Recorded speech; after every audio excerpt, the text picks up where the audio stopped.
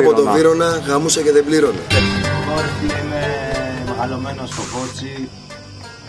Υπάρχει στην Καλαμαριά, στη Θεσσαλονίκη τέλος πάντων. Είναι μια περιοχή η οποία ήταν κακόφιλη. Τα βασικά μου βήματα έρχονται από το κέντρο της Αθήνα, δηλαδή σε, σε μια εποχή που ήταν μεταβατική κιόλας για, για την περιοχή αυτή. Εγώ γεννήθηκα Αγγλία.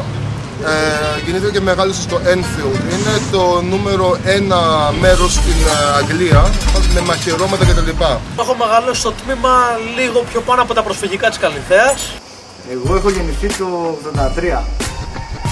Μεγάλωσα στη Ρεματιά στο Πολύδροσο. Εγώ έχω μεγαλώσει στην Ασμύρνη. Εγώ συγκεκριμένα από το Μαρούσι ε, τη πλατεία Ηρών. Ευτυχώς είχαμε την τύχη και τη δυστυχία μπορώ να πω να μεγαλώσουμε στη Νέα Σμύρνη. Εγώ μεγάλωσα στη Νέα Ιωνία.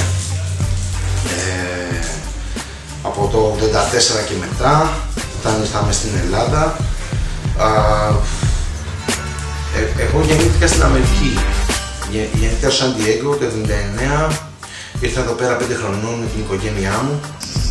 Έχω μεγαλώσει στο Βύρονα.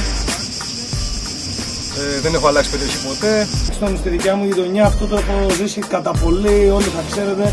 Είμαι, είμαστε από τον Κορυδαλό. Είμαστε περικυκλωμένοι από μια άλλη τεράστια γειτονιά που λέγεται Νίκαια Νεάπολη και έχουμε μεγαλώσει με μια διαμάχη. Εγώ έχω μεγαλώσει ε, στο, στην Πάτρα, στο κέντρο της Πάτρας, σε γειτονιά αστική